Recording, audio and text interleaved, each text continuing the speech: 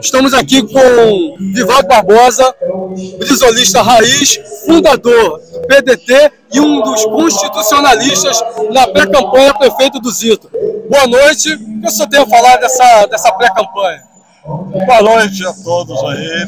Hoje é um ato importante, em profundidade, né, porque hoje marcou aqui uma unidade de diversas forças para combater o atraso, para combater realmente o dia ruim que aconteceu no Brasil até agora.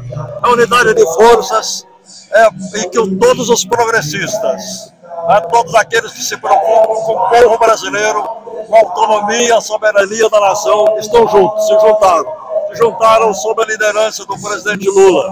Então, essa é um divisor de águas. Esse ato de hoje é um divisor de águas. Né? Marcou a luta que o povo brasileiro está fazendo nos últimos tempos contra o atraso, contra tudo de ruim que se abateu sobre o Brasil. O Zito compreendeu isso, participou disso. Toda a, a história avança, né? a humanidade avança, a política avança. O Zito já, já foi, já voltou, andou por aí. Já esteve com Brizola, agora ele está com Lula, está sobre, junto com o PT, junto com essa federação é que vai marcar época, vai marcar época em Caxias, o Zito demonstrou que ele compreendeu o momento histórico que nós estamos vivendo, ele compreendeu o Brasil de hoje. E vai dar uma grande contribuição para aperfeiçoamento e para o avanço da política brasileira. E o senhor, como bisolista raiz, Darcy Ribeiro, Brizola, os CIEPs, como o senhor pode auxiliar nessa pré-campanha da, da, educação integral no, no possível governo Zito?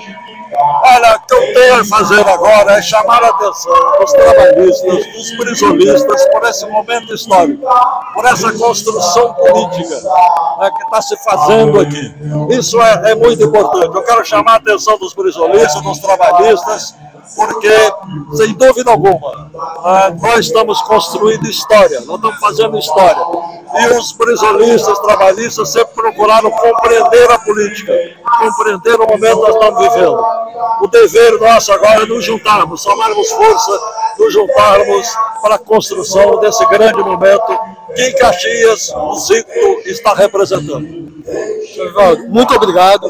Parabéns pela sua luta, parabéns pela sua história e muito obrigado. Última hora, jornalismo com responsabilidade.